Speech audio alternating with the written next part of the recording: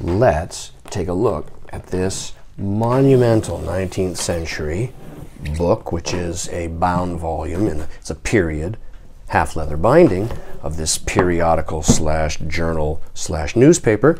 There are original marbled end papers like so, and the volume begins with this title here uh, that tells us the first section is uh, essentially a year's worth of this journal.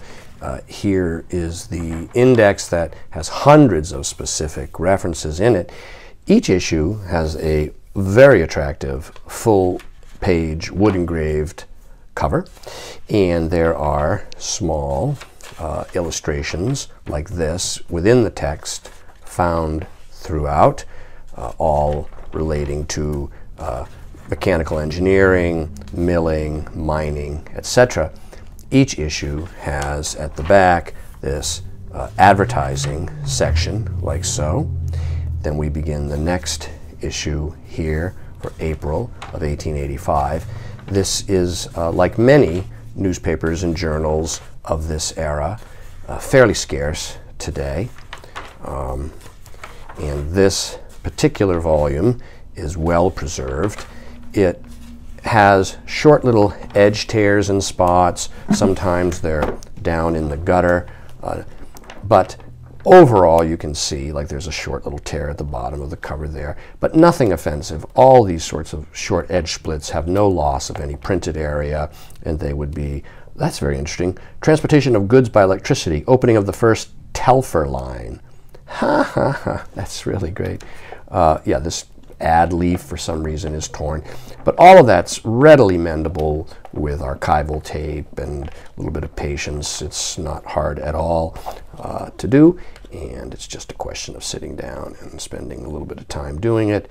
Uh, we sometimes do it, but we can't do it to every last item that passes in front of us. The flow is just simply too large, too quick to get bogged down into uh, repairing every last edge split of every last item that's coming across our path. uh, interesting. Some of these, there's a Cuban earthquake right here. That's an interesting, uh, like contemporary event.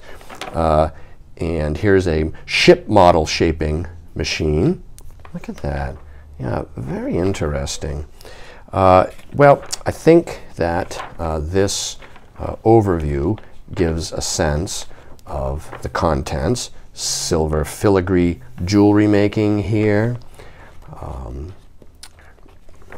like so, look at that. Meigs Elevated Railway. Wow, that's great. Ha, circular car, that's great. Uh, but I think you get the idea. And so this is what we have. It does continue actually beyond that first section. It continues uh, here into 1887. Uh, let me get to the final issue so you can see that. Okay, like so. Yeah, here we are. March 1st of 1887 uh, is the final issue. And this monumental book is available now online from me, Brian DiMambro.